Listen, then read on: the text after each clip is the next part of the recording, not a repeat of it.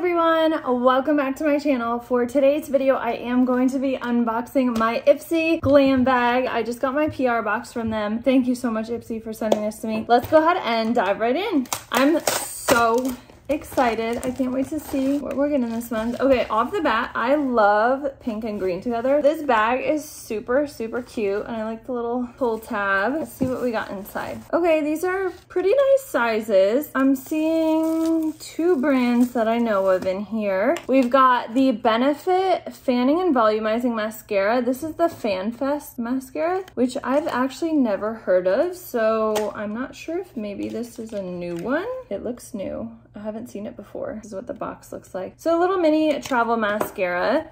Up next, another brand that I recognize is Korres. This is their Poreless Skin Cream. It's got salicylic acid to help smooth and balance. I have large pores, I break out, all of that jazz. So this product I'm looking forward to trying. Hopefully it'll help with oil control and breakouts. We've got another product from Give Them Lala Beauty. This is a brow gel and I'm assuming it's just clear. Very simple packaging. We have a body lotion from Mimori. It's creamy vanilla, orange flower, and sweet cashmere musk. Body lotion and vanilla frosting. Ooh, that sounds really good. And then the last product we've got is in a little protector by Farah. It's got a shimmer shade, a metallic shade, and then two mattes.